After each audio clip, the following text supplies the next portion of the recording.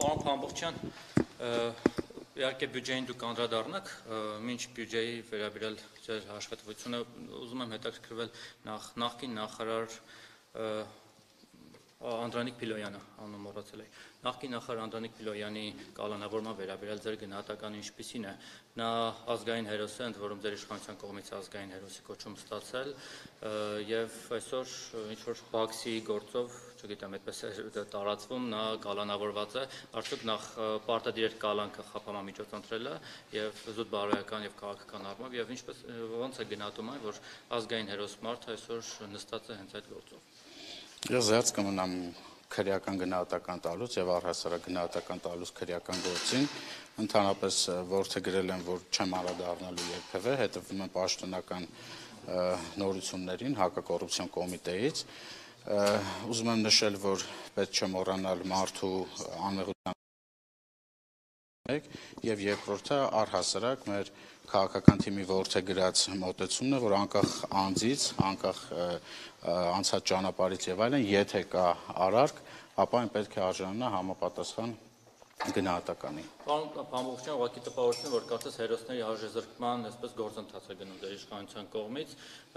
Մանվել Գրիգորյանը եւս Արցախի հերոս էր, տեսանք նրա ճակատագիրը ինչ եղավ։ Հիմա ձեր իշխանության կողմից հերոսի կոչում ստացած մարդիկ նման այսպես հետապնդման են ենթարկվում։ Ես կարծում եմ, ինչ որ արարք արել են, թե չամեղության կանխավարկած։ Ես կարծում եմ, որ սխալ գնահատական է, որ մեր քաղաքական թիմի կողմից վարվում է նման քաղաքականություն, այդքանը։ Պարոն Պավոչյան, անդիմությունը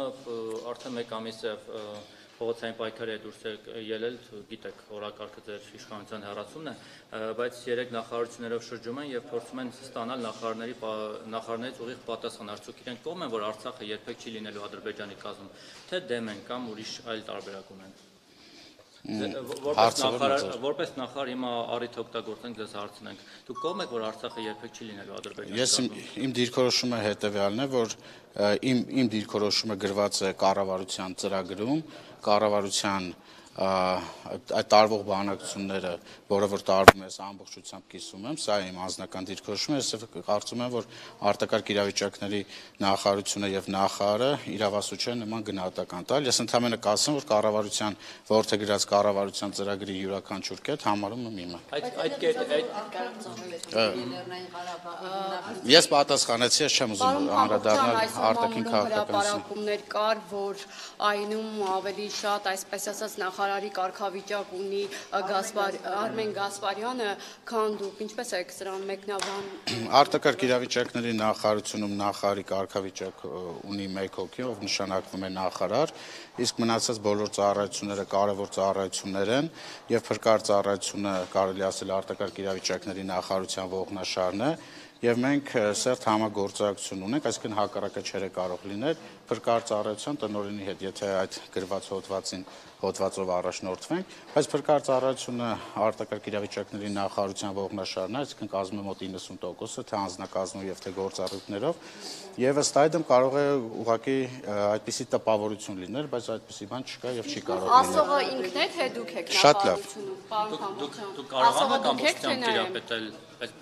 Դե ինչպես գիտեք, ես մոտ 1.5 տարի արդեն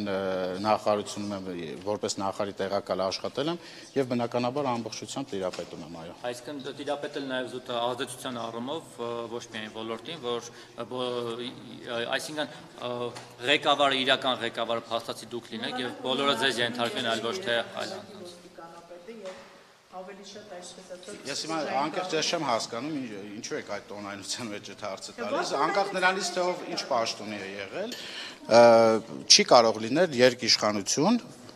համենայն դեպս արտակարգ իրավիճակների նախարարությունը ես դա ձեզ պատասխանատու ասում եմ եւ որpիսի տոներից դուրս գանք, ես նշեմ, որ ես գնդապետ Գասպարյանի հետ ունեմ մտերմիկ հարաբերություններ եւ այդ թվում նաեւ իր նշանակման հետ կապված ունեցել եմ իմ ներդրումը։ էլ շնորհակալություն։ Փամբոխյան, բյուջեում ը, ը, 21 թվականով ը, նախ ինչ արդյունքներ եք գրանցել զու- զուտ կատարողականի առումով,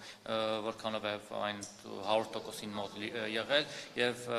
22-ի մասով էլ տարբերություններ խնդրում եմ նշել։ Բյուջեի մասով նշեմ, որ կատարողական 99.4% է, այսինքն կարելի ասել, որ ամբողջությամբ կատարվել է բյուջեն, այդ 0.6 շեղումը կա հիմնավորումներով, շատ չնչին շեղում է, 2022-ի մասով նոր է սկսվել բյուջե։ Մի բան էլ էլի այինի մասով։ Սյունիքում ը, հայտնի իրավիճակով պայմանավորված եւ որ նաեւ քաղաքացիները հենց արտաքին Տիկո։ իրավիճակների նախարարության դիմելու անհրաժեշտություն են մնում։ Այստեղ ձեզ մոտ աշխատանքային ինչ փոփոխություններ են տեղ ունեցել եւ բյուջեի մասով եւ ծառայաբերվածության եւ չգիտեմ տեխնիկական համալրումների եւ Այդ մասով կան որոշակի փոփոխություններ, բայց ձեռս կմնամ հրապարակային պատասխանելուց։